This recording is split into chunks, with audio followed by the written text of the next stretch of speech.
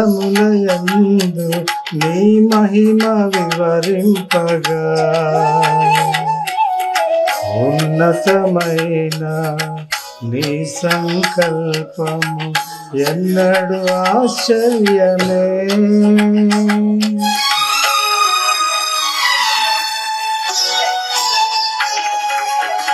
సర్వోన్నతమైన స్థలములయందు నీ మహిమ వివరింపగా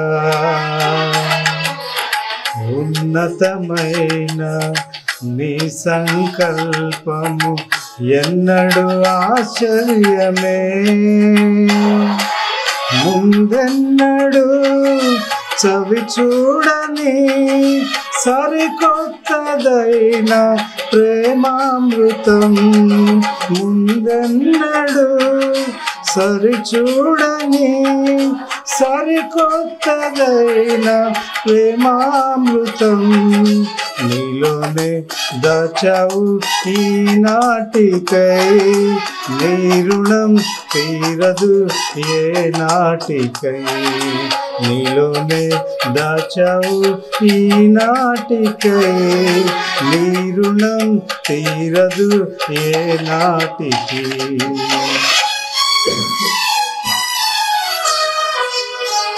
అతి పరిశుద్ధుడా స్థుతి నైవేద్యము నీకే అర్పించి కీర్తింతును అతి పరిశుద్ధుడా స్థుతి నైవేద్యము నీకే అర్పించి కీర్తింతును నీవు నా పక్షమై నన్ను దీవించగా నీవు నా తోడువై నన్ను నడిపించగా జీవింతును నీ కోసమే. ఆశ్రయమైన నాయసయా అతి పరిశుద్ధుడా స్థుతి నైవేద్యం. నీకే అర్పించి కీర్తింతును. అతి పరిశుద్ధుడా స్థుతి నైవేద్యము నీకే అర్పించి కీర్తింతును.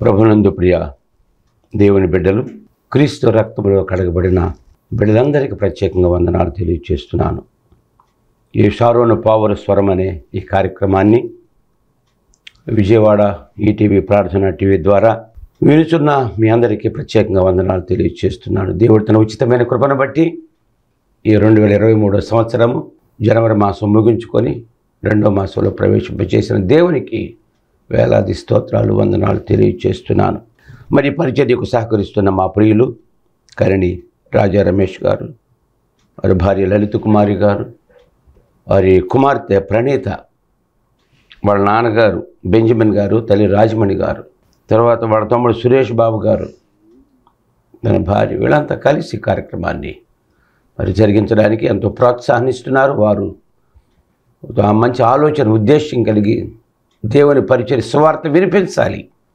అన్న సదుద్దేశంతో కార్యక్రమాన్ని వారు సహాయం చేస్తున్నారు. వారిని వారి కుటుంబాన్ని జీవించాలని మరి ఒకసారి ప్రభుపేట వారికి ప్రత్యేకంగా వందనాలు తెలియజేస్తున్నాను. దేవుడు గడిచిన నెలంతా గడిచిన సంవత్సరాలు కాచి కాపాడి మరి యొక్క నెలలో మనల్ని ప్రవేశింపు చేశాడు దేవుడు.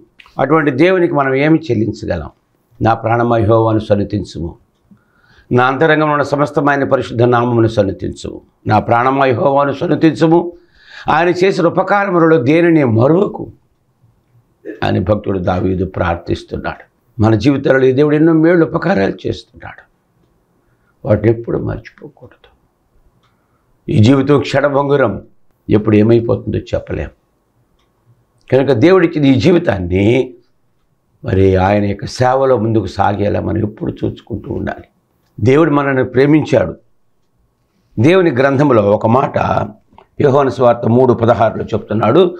దేవుడు లోకముని ఎంతో ప్రేమించాను. కాగా ఆయన తన అద్వితీయ కుమారునిగా పుట్టిన వాని ఎందు ప్రతి వాడునో నశింపక నిత్య జీవం పొందినట్లు ఆయనను అనుగ్రహించెను అంటూ లోకము తన కుమారుడు ద్వారా రక్షణ పొందటకే కానీ లోకమునకు తీర్పు తీర్చుటకు దేవుడు ఆయన లోకములోనికి పంపలేదు.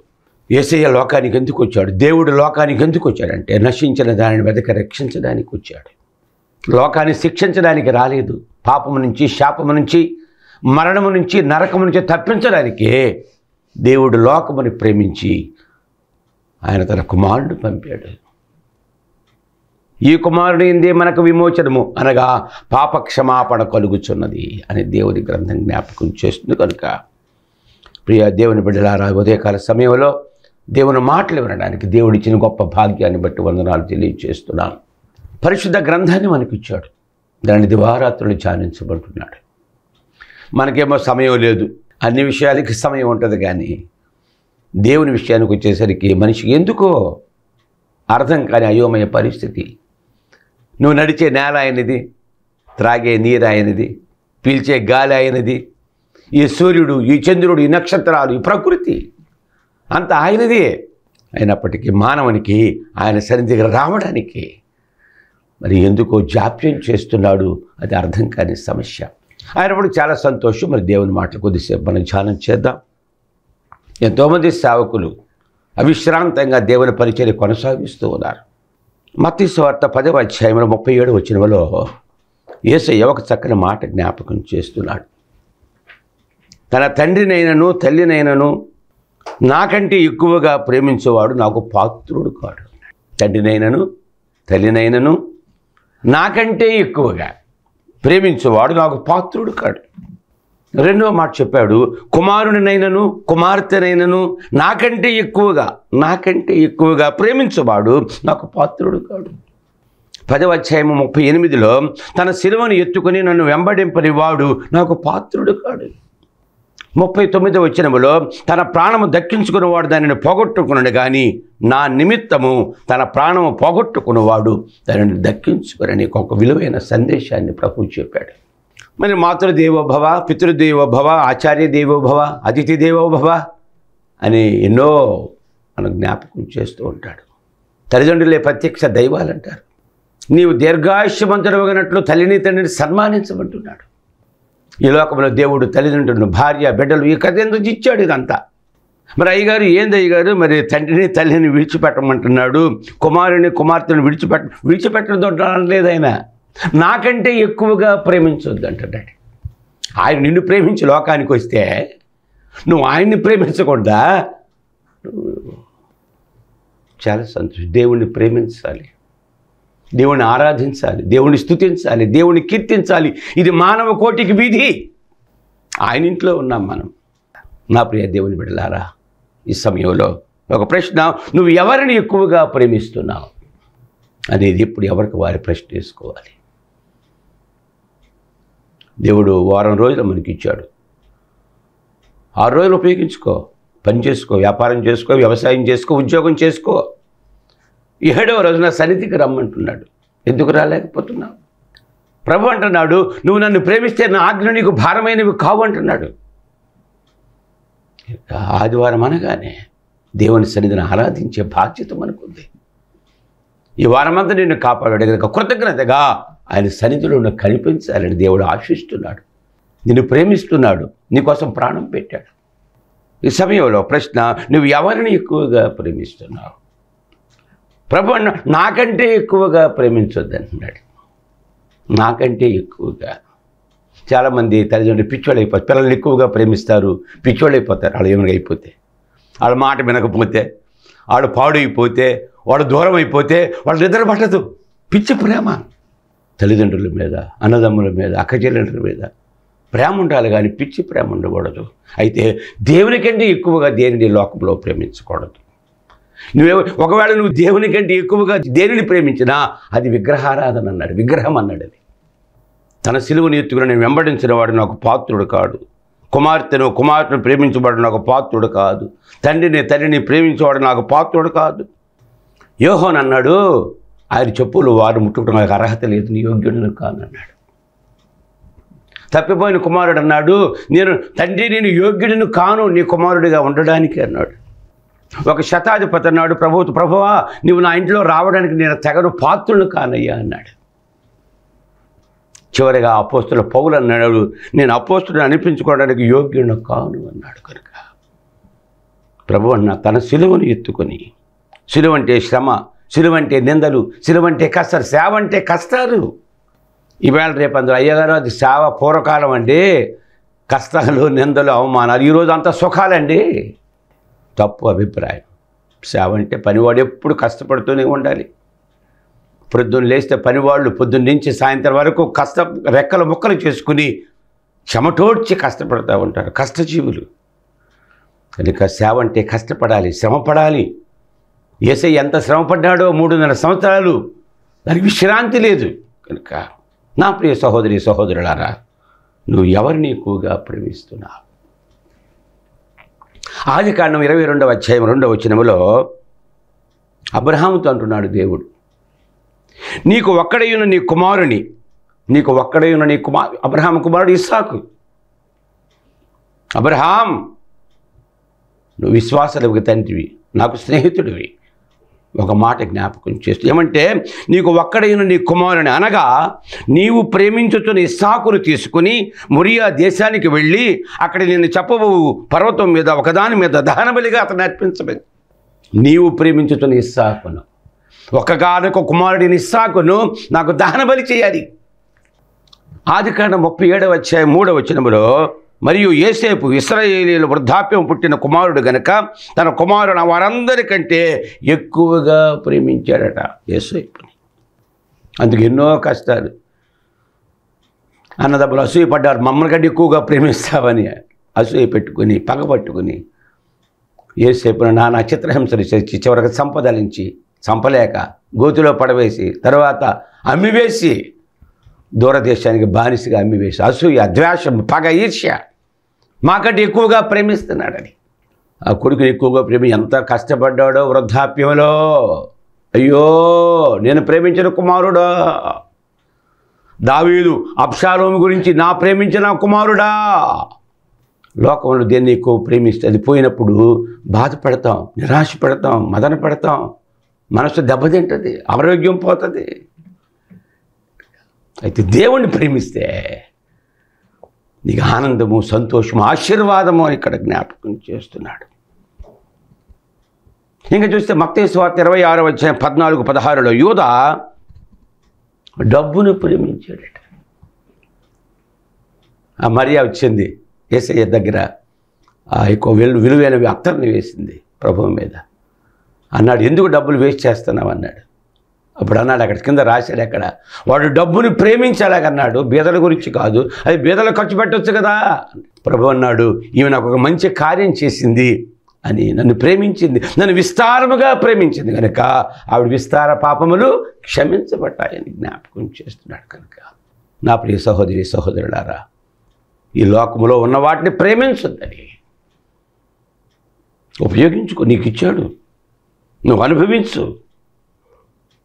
దేవుని స్థుతించు దేవుని ప్రేమించు దేవుని ఆరాధించు అని ఇక్కడ జ్ఞాపకం చేస్తున్నాడు కనుక ఈ సమయంలో ఈ మాటలు జ్ఞాపకం చే ఎక్కువగా ఎవరిని ప్రేమిస్తున్నావు? నువ్వు ఎంతగా ఎక్కువగా ప్రేమిస్తే నీ పాపాలు అంతగా క్షమిస్తాడని. ఇక్కడ సామెత గ్రంథం ఎనిమిదవ ఇరవై ఒకటి వచ్చినములో నన్ను ప్రేమించు వారిని ఆస్తికర్తలుగా చేస్తాను. వారి నిధులను నింపుతానని దేవుడు జ్ఞాపకం చేస్తాను ఎనిమిది పదిహేడు సామెతల గ్రంథంలో నన్ను ప్రేమించే వారిని నేను ప్రేమించుచున్నాను అని ఎక్కడ జ్ఞాపకం చేస్తున్నాడు. యోహోన్ స్వార్త పన్నెండు ఇరవై ఆరో వచ్చినప్పుడు ఒకడు నన్ను ప్రేమించిన ఎడల నన్ను వెంబడింపాలి. అతడు నేను ఎక్కడ ఉందునో అక్కడ వాడు ఉండాలి. ఒకడు నన్ను ప్రేమించిన ఎడల నా తండ్రి అతనితో ఉంటాడని జ్ఞాపకం చేస్తున్నాడు కనుక. ఏసయ్య నీకు తోడుగా ఉండాలి అంటే నువ్వు ఆయన్ని ప్రేమించాలి. నువ్వు గొప్పవాడివి కావాలంటే ఏసైని ప్రేమించాలి. అని ఇక్కడ దేవుని వాక్యాలు జ్ఞాపకం చేస్తున్నాయి కనుక. ప్రియ దేవుని బిడ్డలారా ఈ లోకంలో జీవిస్తున్న మనము ఆయన బిడ్డలుగా జీవిస్తున్న మనము అన్నిటికంటే ముఖ్యముగా ఏసయ్యను ప్రేమించాలని ఇక్కడ జ్ఞాపకం చేయబడుతున్నాం. ఒకసారి ఒక బోధకుడు ప్రభు దగ్గరికి వచ్చాడు. ఒక ప్రధాన బోధకుడు వచ్చి అంటున్నాడు బోధకుడా ధర్మశాస్త్రంలో ముఖ్యమైన ఆజ్ఞ ఏది? అని ఆయన అడిగాడట. అప్పుడు ప్రభు అన్నాడు చెప్తున్నాడు నీ నీ పూర్ణ హృదయముతో నీ పూర్ణ ఆత్మతో నీ పూర్ణ మనస్సుతో నీ దేవుడిని ప్రభువుని ప్రేమించాలి. ఇది ముఖ్యమైనది మొదటిది ఆజ్ఞ అని చెప్పాడు. రెండవది నిన్ను వలి నీ పొరుగుమానని ప్రేమించాలి. ఇది రెండవ ఆజ్ఞ. వీటికంటే ఈ ధర్మశాస్త్రములకును ప్రవక్తలందరికీ ఆధారమైన ఈ రెండు మాటలు రెండు ఆజ్ఞలు. అన్ని ఆజ్ఞల కంటే ప్రాముఖ్యమైన ఆజ్ఞలు ది- పూర్ణ హృదయముతో పూర్ణ మనస్సుతో పూర్ణ ఆత్మతో దేవుని ప్రేమించాలి. రెండవది నిన్ను వలేని పొరుగువాడిని ప్రేమించాలని ప్రభు జ్ఞాపకం చేస్తున్నాడు కనుక. ప్రియ దేవుని బిడ్డల ఒకటి దేవుని ప్రేమించాలి. రెండవది పొరుగువాడిని ప్రేమించాలి. కనిపించే తోటి మానవుడిని ప్రేమించలేని నీవు కనబడని దేవుని ప్రేమిస్తున్నావు అనడానికి రుజువు ఏంటంటున్నాడు? ప్రేమ ఎంత గొప్పదో కొరింది రాసిన పత్రిక పదమూడవ అధ్యాయంలో ప్రేమ గురించి చెబుతున్నాడు. పదమూడవ అధ్యాయం మనకు ఎక్కువగా వచ్చి ఉండాలి మనుషుల భాషలతోనూ దేవదూతల భాషలతో నేను మాట్లాడినను. ప్రేమ లేనివాడనైతే మ్రోగిడి కంచును గడగడలాడు తాళమనయ్యుందును. ప్రవచించు కృపావరము కలిగి మర్మములన్నీయు జ్ఞానమంతయు ఎరిగిన వాడనైనను ప్రేమ లేని వాడనైతే కొండలను పెకలింపగల పరిపూర్ణ విశ్వాసము కలిగేవాడనను ప్రేమ లేని వాడైతే. నేను వ్యర్థుడను. ఇంకేమంటున్నాడు? బేదల పోషణకు నా ఆశాంతి ఇచ్చినను కాల్చబడుటకు నా శరీరం అప్పగించినను ప్రేమ లేని వాడనైతే నాకు ప్రయోజనమేమి లేదు. ప్రేమ దీర్ఘకాలం సహించును. దయ చూపించును. ప్రేమ మచ్చరపడదు. ప్రేమ డమ్మముగా ప్రవర్తించదు. అది ఉప్పొంగదు. అమర్యాదగా నడవది. స్వప్రయోజనం విచారించుకొనదు. త్వరగా కోపపడదు. అపకారం మనసులో ఉంచుకొనదు. అన్నిటినీ తాడును అన్నిటినీ నమ్మును అన్నిటినీ ఓర్చును అన్నిటిని నిరీక్షించును. ప్రేమ శాశ్వత కాలం మన దగ్గర ఏముందని దేవుడు ప్రేమించాడండి? నువ్వే గొప్పవాడని దేవుడిని ప్రేమిస్తున్నాడు? మనం శత్రువులముగా ఉండగా మనం భక్తిహీనులుగా ఉండగా ఆయనకి విరోధులుగా ఉండగా ఆయన మనల్ని ప్రేమించి లోకానికి తన ప్రియ కుమారుడిని పంపించి మన పాపాల కొరకు మన శాపాల కొరకు ఆయన మీద వేసుకొని మనకు విమోచించాడు పాపము నుంచి శాపం విమోచించాడు ప్రేమ చేతనే. అటువంటి ప్రేమకు నువ్వు ఏం చెల్లిస్తున్నావు? ఆయనను ప్రేమించలేకపోతున్నావు. లోకాన్ని ప్రేమిస్తున్నావు డబ్బుని ప్రేమిస్తున్నావు ఏదేదో ప్రేమిస్తున్నావు కానీ ఏ దేవుడు నిన్ను సృష్టించి నిన్ను బ్రతికించి నడిపించి పోషిస్తున్నాడు? ఆయనను ప్రేమించలేకపోయావు. కారణం ఏమిటంటే ఆయన వాక్యం వినడానికి నేను ఇంట్రెస్ట్ ఉండదు. మందిరానికి వెళ్ళలేవు. ఆయనతో స్నేహం చేయలేవు. ఆయనతో సహవాసం చేయలేవు. కారణము ఆయనతో స్నేహం ఆయన ప్రేమించడం లేదని అర్థం. ఆదివారం అనగానే పెందల కడ వెళ్ళిపోవాలి. దేవుడు నిన్ను ప్రేమించు. నీకోసం ఈ సూర్యుడు ఈ చంద్రుడు ఈ ఆకాశ నక్షత్రాలు. ఓ సూర్యుడా వెళ్ళు. నా బిడ్డల కింద ఉన్నారు లోకంలో భూలోకంలో. వెలిగించవయ్యా. ఓ సూర్యుడా వెలుగు. ఓ చంద్రుడా వెలుగు. నక్షత్రాలారా తారలారా వెలిగించండి నా బిడ్డకి. నీకోసం ఎంతో చక్కని ఆహారం. నీకోసం ఏం చేశాడు? వివరించలేము. కనుక అటువంటి దేవుని ప్రేమకు నువ్వు ఏం చెల్లించగలవు? ఆయన ఏమన్నాడు? నన్ను ప్రేమించు. అది నాకు ఇంకేం అక్కర్లేదు. నీ డబ్బు అక్కర్లేదు. నీ ఆస్తి అక్కర్ నీ ఐశ్వర్యం నాకు అక్కర్లేదయ్యా. నన్ను ప్రేమించమనే మాట కూడా నువ్వు చేయలేకపోతుంటే నేనంటాను ఒకవేళ ప్రేమించావనుకో ప్రేమిస్తావనుకో ఎందుకు బైబిల్ చదవు? ఎందుకు పది కీర్తనలు చూడకుండా రావు? ఒక ఆయన ఒక నాస్తికుడు అంటున్నాడు. ఒక నాస్తికుడు క్రైస్తవుడితో మాట్లాడుతున్నాడు. ఏమయ్యా? యేసుప్రభు దేవుడు దేవుడు అంటారు. ఆయన పూజించమని ఆరాధించమని అంటారు. మాకు ఏ దేవుడు లేడు అందరూ ఒకటి అందరూ సమానమే ప్రజల్ని ప్రేమించాలి మేము. కానీ మీ క్రైస్తవులు ఎప్పుడు గ్రంథాలు చదువుతూ ఉంటారు ఎప్పుడు మోసుకెళ్తూ ఉంటారు. ఒకటో పేజీ రాదు వాళ్ళకి. అరవై ఆరు పుస్తకాలు బైబిల్లో ఉన్నాయి. ఒక పేరైన వాళ్ళకి వచ్చా? పాలకూరలో పాలు లేవు పెరుగు తోటకూరలో పెరుగు లేదు నేతి బీరకాయలు నెయ్యి లేదు. అలాగే క్రైస్తవులు క్రీస్తు లేడయ్యా వాళ్ళు ప్రేమించలేక లోకమును ప్రేమిస్తున్నారు కానీ ఏ దేవుడు సృష్టించాడో ఆయన ప్రేమించలేదని ఒక నాస్తికుడు ఒక క్రైస్తవునితో చెబుతున్నాడు. కనుక ప్రియ దేవుని బిడలారా నీ జీవితాన్ని బాగు చేయటానికి నీకు ఆరోగ్యం నీకు బలము నీకు శక్తి ఈ లోకంలో శాంతి సమాధానం చనిపోతే పరలోకం ఇవ్వడానికే దేవుడు లోకమును ప్రేమించి తన కుమారుని పంపించాడు. ఆయన ప్రేమించలేవా? యోహోను సువార్త చివరి అధ్యాయాల్లో ఏసయ్య మరి సులువైపోయాడు చనిపోయాడు తిరిగి లేచాడు పరలోకానికి వెళ్ళిపోతున్నాడు. ఆ పరిస్థితుల్లో ఇరవై ఒకటవ అధ్యాయంలో పేతులతో మాట్లాడుతున్నాడు. వారు భోజనం చేసిన తర్వాత యేసు సీమోను పేతులను చూచి యోహోను కుమారుడైన సీమోను వీరికంటే నీవు నన్ను ఎక్కువగా ప్రేమించుతున్నావా ఇంతమంది ఉన్నారు నా శిష్యులు వీళ్ళందరూ. నీ తల్లిదండ్రులు నీ అన్నదమ్ముడు నీ అక్క చెల్లెండ్రు నీ పిల్లలు వీళ్ళందరూ ఉన్నారు. నా శిష్యులు ఉన్నారు. సంఘాలు ఉన్నాయి కదా వీరికంటే ఎక్కువగా నన్ను ప్రేమిస్తున్నావా? అని అడుగగా అతడు అవును ప్రభువా నేను నిన్ను ప్రేమించుతున్నానని నీవే ఎరుగుదుమని ఆయనతో చెప్పాను. యేసు నా గొర్రె పిల్లలను మేపమని అతనితో చెప్పాను. మరలా ఆయన యోహోను కుమారుడైన సీమోను నీవు నన్ను ప్రేమించుతున్నావా? అని రెండవసారి అతను అడుగగా అతడు అవును ప్రభువా నేను నిన్ను ప్రేమించుతున్నాను నీవే ఎరుగుదమని ఆయనతో చెప్పాను. అందుకు ఆయన నా గొర్రెను ఖాయమని చెప్పాడు. మరలా మూడవసారి యోహాను కుమారుడైన సీమోను నన్ను ప్రేమించుతున్నావా? అని అతనిని అడిగాను. నన్ను ప్రేమించుతున్నావా? అని మూడవసారి అతను అడిగినందుకు పేతురు వ్యసనపడి ప్రభువా నీవు సమస్తమును ఎరిగిన వాడు నిన్ను ప్రేమించుతున్నాను నీవే ఎరుగుదమని ఆయనతో చెప్పాను. యేసు నా గొర్రెలను మేపుమని ఇక్కడ. ఎవరైతే ప్రభువుని ప్రేమిస్తారో ఎవరైతే ప్రభుని వెంబడిస్తారో పన్నెండు మంది శిష్యులు ఎక్కువ ఒక్కరు లేరు అక్కడ.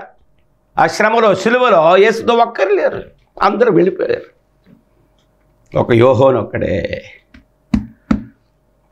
నువ్వు ఆయన్ని ప్రేమిస్తే నా గొరిపిల్లల మేపమని నా గొరిపిల్లల ఖాయమని ఆయన జ్ఞాపకం చేస్తున్నాడు. కనుక ప్రియ దేవుడి బిడ్డలారా నాయన అని చెప్పేది ఏంటంటే నువ్వు ఎవరిని ఎక్కువగా ప్రేమిస్తున్నావు అనేది ఇప్పుడు ప్రభువా నిన్ను నేను ప్రేమిస్తాను నాయన అని అడిగినప్పుడు ఆయన సహాయం చేస్తాడని నువ్వు ప్రేమిస్తే నీ పాపాలు క్షమిస్తాడు. నువ్వు ప్రేమిస్తే నిన్ను ఆస్తికర్తలుగా చేస్తాడు. నువ్వు ప్రేమిస్తే నీ నిధులను నింపుతాడు. నీ అవసరాలు తీరుస్తాడు. నీకేం కావాలో చేస్తాడు. న్యాయాధిపతులు ఐదవ అధ్యాయంలో ముప్పై ఒకటి వచ్చిన ఆయన అంటున్నాడు ఆయనను ప్రేమించేవారు బలముతో ఉదయించు సూర్యుని వలె ఉంటారు వెలుగు సంబంధులుగా ఉంటారు. ఏసై అన్నాడు మీరు లోకానికి వెలుగు అన్నాడు.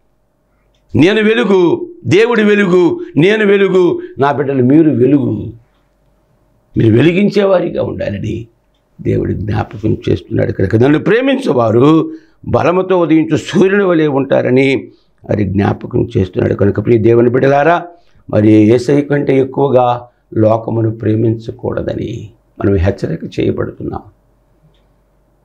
ప్రొద్దున లేకపోగానే ప్రార్థన చేసుకోవడం వాక్యం చదువుకోవడం నీ దినచర్య ప్రారంభించడం ఎక్కువగా దేవుని సన్నిధిలో దేవుని సేవకులతో సంఘములో ఉండాలి. ఇక దేవుడు లోకమును ఎంతో ప్రేమించాడు.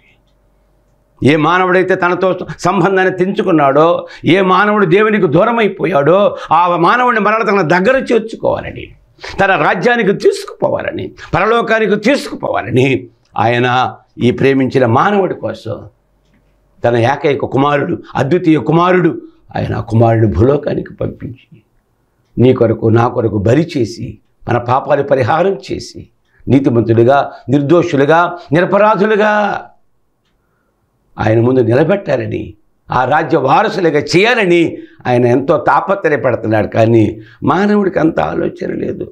ఇంకా అటు పోదామా? ఇంక ఇటు పోదామా? అక్కడికి వెళ్తే ఏమొస్తుంది? అక్కడికి వెళ్తే అయ్యో ఆవిడేమి ఇస్తాడు? ఎవరు ఎంత కార్యం ఇవ్వగలరు? నిన్ను పోషించేవాడు నిన్ను రక్షించేవాడు నిన్ను దీవించేవాడు నిన్ను ఆశీర్వదించేవాడు నీ దేవుడు. ఆ దేవుని ప్రేమించడానికి మనం ఎప్పుడు సిద్ధంగా ఉండాలి. ఆయనని ప్రేమిస్తే ఆయన ఆకలి భారమైనవి కావంటున్నాడు. ప్రభునందు దేవుని బిడ్డలారా మనకు తెలియదు ఎవరిని ప్రేమించాలో తెలియదు. మనం ఏంటంటే అయినోడు కాకులు కానోడు కంచాలు పెట్టే రకాలు మనం. ఒకడు నువ్వు ప్రేమిస్తావు వాళ్ళు నేను ప్రేమిస్తారని నేను ద్వేషిస్తారు. నీకు సహాయం చేస్తారా? వాళ్ళు ఏం చేయరు. అందుకనే నూట నలభై ఆరో కీర్తనలో అంటున్నాడు ఆ నలభై నూట నలభై ఆరో కీర్తనలో చెబుతున్నాడు భక్తుడైన దావీదు తన యొక్క సంఘానికి జ్ఞాపకం చేస్తున్నాడు. కనుక దేవుని గ్రంథాన్ని ఆయన ప్రేమించినట్లయితే నువ్వు దేవుని గ్రంథాన్ని దివారాత్రులు ధ్యానించాలని ఆయన ఆశపడుతూ ఉన్నాడు. నా ప్రాణమైహోవాను స్థుతించుము నా ప్రాణమైహోవాను స్థుతించుము నా జీవిత కాలమంతా నేను హోవాను స్థుతించదను నేను బ్రతుకు కాలమంతా నా దేవుని కీర్తించదను. అంటూ రాజుల చేతను నరుల చేత రక్షణ కలగదు. వారి నమ్ముకొనకుడి వారి ప్రాణములు వెడిలిపోవును వారి మంటి పాలకుదురు వారి సంకల్పమును నాడే నశించును. ఎవనికి యాకోబు దేవుడగునో. ఎవడు తన దేవుడు యహోవాని ప్రేమిస్తాడో వాడు దీవించబడతాడని వాడు ధన్యుడని జ్ఞాపకం చేస్తున్నాడు కనుక. నీ దేవుని శక్తి నీ దేవుని యొక్క ఆలోచన నీకు తెలియటం లేదు కనుక. దేవుణ్ణి ప్రేమించే ఆలోచన మనస్సు ఎప్పటికైనా నీకు లేకపోవడం విచారం. దేవుడు ఎంత విచారపడుతున్నాడు? ఆకాశం ఆలకించు.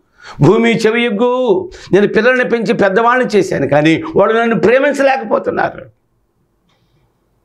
నన్ను విడిచిపెట్టేశారు. జీవజలాల ఓటలని నన్ను విడిచిపెట్టి బ్రద్దలైన తొట్లు తొలిపించుకున్నారు. అని దేవుడు ఎంత బాధపడుతున్నాడో. ఇర్మియా గ్రంథంలో చెబుతాడు వారు నా మాట వినడం లేదు కనుక నేను చాటును ఏడ్చుదును అని అక్కడ జ్ఞాపకం చేస్తున్నాడు కనుక ప్రియ దేవుని బిడ్డలారా దేవుని యొక్క సన్నిధిలో ఈ మాటలు జ్ఞాపకం చేస్తున్నాను. దేవుని కంటే ఎక్కువగా ప్రేమించకూడదు ఎవరినైనా. ఈ లోకంలో ఉన్న వాటిని కానీ దేనినైనా దేవుడు ముందుండాలా? మనం వెనకుండాలి దేవుడు ముందుండాలి మనం వెనకుండాలి కనుక ఆయన అంటున్నాడు తండ్రినైనను తల్లినైనను నాకంటే ఎవడు ఎక్కువగా ప్రేమిస్తాడు? నాకు పాత్రుడు కాడు. కుమారుడైన కుమార్తెనైనను నాకంటే ఎక్కువగా ప్రేమించేవాడు నాకు పాత్రుడు కాడని ఇక్కడ జ్ఞాపకం చేస్తున్నాడు. కనుక నువ్వు ఎవరిని ప్రేమిస్తున్నావు ఒకసారి ఆలోచించుకో. ఎవరిని ప్రేమిస్తున్నావో ఆలోచించుకో. ఆయనను ప్రేమిస్తే ఆయన ఆజ్ఞలు భారమైనవి కావు. ఆయన కోసం పరిగెడతా ప్రేమ కోసమే వరలో పడిన పాపం పూర్వకాలం పాట పాడుతున్నవాడు ప్రేమ కోసం వరలో పడిను. కనుక దేవుడు నిన్ను ప్రేమించాడు కనుక ఈ సమయంలో.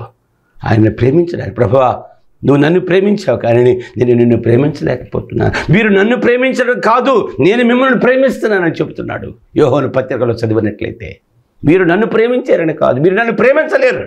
మీరు డబ్బును ప్రేమిస్తారు లోకాన్ని ప్రేమిస్తారు కానీ నన్ను ప్రేమించలేరు కనుక ఈ సమయం ప్రభువా ఈరోజు నిర్ణయం తీసుకుని ఆయన ఈ లోకము కంటే లోకములో ఉన్న వాటికంటే ప్రభువా నేను ప్రేమించే కృప నాకు దయచే ప్రభువా నిన్ను వెంబడించే కృప నాకు దయచే నాయన. అయ్యా పేతుడు అంటున్నాడు అయ్యా నిన్ను ప్రేమిస్తాను నీకే తెలుసు ప్రభు అన్నాడు. గొప్ప సేవకుడు నాయకుడైపోయి ఒకరోజు ప్రస మూడు వేల మంది ఆయన ప్రభు ఆకర్షింపు చేయగలిగినాడు కనుక అటువంటి గొప్ప కృప కోసం నువ్వు ప్రార్థించాలని మరి ఒకసారి హెచ్చరిక చేస్తున్నాను. లోకం నీతో రాదు ఈ బంధువులు ఎవరు నీతో రారు ఎవరు నీకు సహాయం చేయరు. ఈ లోకంలో ఉన్న లోకం విడిచిపెట్టినా ఆయనే నీ తోడు నీ నీడ నీ అండ నీ ఆశ్రయం కనుక దేవుని ప్రేమించి ఆయన బిడ్డగా సాగిపోయే కృప అనుగ్రహించాలని ఈ సమయంలోనే ప్రభువును ప్రార్థించు ప్రభువ. ఈ లోకంలో ఉన్నటువంటి వాటికంటే ప్రభు దీన్ని ప్రేమించే శక్తి నాకు దయచేయి కళ్ళు మూసుకొని చిన్న ప్రార్థన చేస్తాను.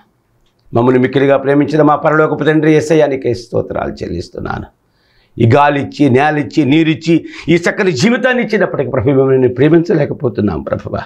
అయితే నీవే మమ్మల్ని ప్రేమించి ఈ లోకమును ప్రేమించి నీ ప్రియ కుమారుని పంపించి మా పాప శాపాలు తీసివేసి నీ బిడ్డలుగా నీ సాక్షులుగా చేసి వందని బట్టి వందనాలు చేస్తున్నాను. ఈ మాటలు వింటున్న ప్రతి వారిని దీవించండి. నీ బిడ్డలుగా నీ ప్రియులుగా నీ కిష్టులుగా నిన్ను ప్రేమించేవారిగా చేసి నీ దేవునికి పాత్రలుగా చేయమని. అడుగు వాటన్నిటికంటే ఊహించు వాటన్నిటికంటే అత్యధికముగా చేసే శక్తి కలిగిన ఏసయ్య నామమును వేడుకొలుచున్నాను తండ్రి. ఆమె మన ప్రభువును రక్షకుడు యేసుక్రీస్తు కృపయ్యం తండ్రి అయిన దేవుని ప్రేమ పరిశుద్ధాత్మ సహవాసము. నిరంతరం మీకు తోడుగా ఉండి మిమ్మల్ని అధికముగా వర్ధిల్ల చేయునుగాక ఆమె